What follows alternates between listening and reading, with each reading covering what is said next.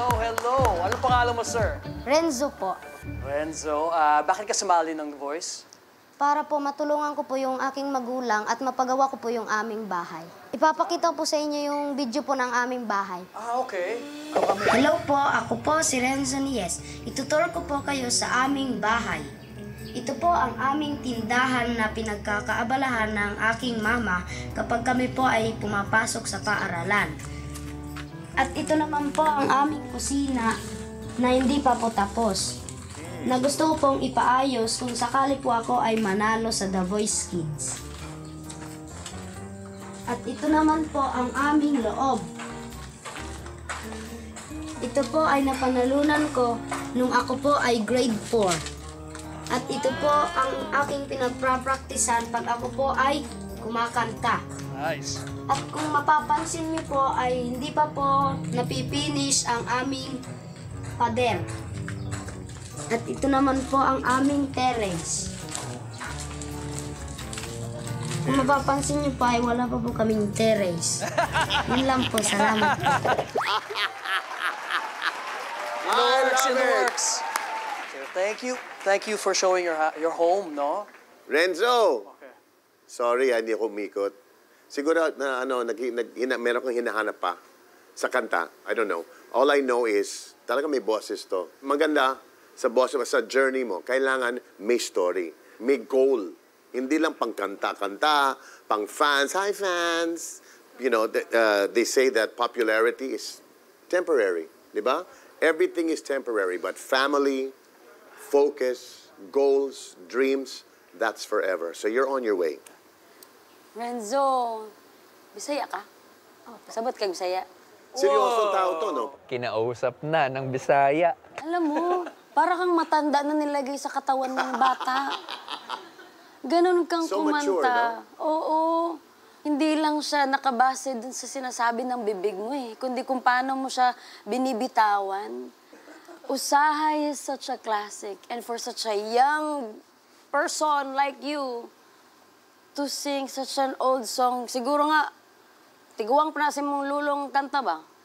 Pero, kinanta mo, and you told the story as if na nakigihigugma. Tapos, isa sa pinaka na-appreciate ko sa'yo, kahit alam mo namang abot na abot mo yung mga high notes, yung low notes, alaga mo. Doon din. Ginatagaan dyan ni mo og equal na importansya o gugma ang, ba- ang kada parte sa imong kanta. So I am so excited to work with the kind of artist that you are. Ana na kamo kanta, hanas na kay kamo kanta do. Kuyaw kay ka. Pili ako bi.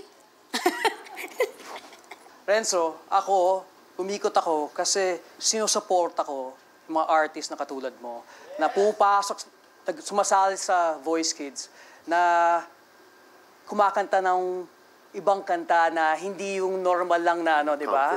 Na, so, saludo ako dun eh. Hindi ako familiar sa kanta, pero yung idea na ginawa mo yun, yung astig nga, yung katapang na ginawa mo, yun ang sinusuportahan ko.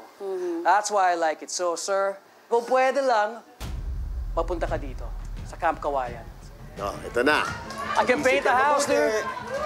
Mag-iisip ka mabuti. Ang pipilian ko pong coach na ito ay alam ko pong makakatulong sa akin sa pagkanta at marami pa po ako matututunan sa kanya. Renzo. Who could this be? Coach Bamboo, Coach KZ. The choice is yours, boy. Renzo. He's thinking. Pili ako Renzo, please.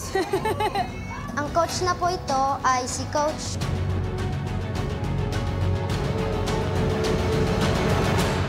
Casey po. Wow! Coach KZ! That makes sense. We should have gone to Bisaya School. That makes sense. That makes sense. Yeah! Pagtiki ka dong, haod kay ka dong, grabe ka maayo dong. Kining jacket, para na si mo ha. Para di ka tugnawan. Oh, hinay, hinay, hinay. Gusto ko yung ginawa mo eh. Yeah! Good sa'yo, ha? Gawin mo ang ginagawa mo. Follow your heart. Listen to coach. Okay? Good stuff. Good stuff. Good job, good job. Good job, good luck. Okay? Never forget where you came from. Tama? Tama ko? Case may nasabihin ako sa'yo ah. Si Renzo, hindi siya nagbibisaya ah. Opo, Tagalog po kami. Pero po na yung papa po niya ay Kaya yung Bisaya. kinakausap ko siya, hindi niya, siya, hindi niya naintindihan. Pero maraming salamat pinili Thank you mo siya. po.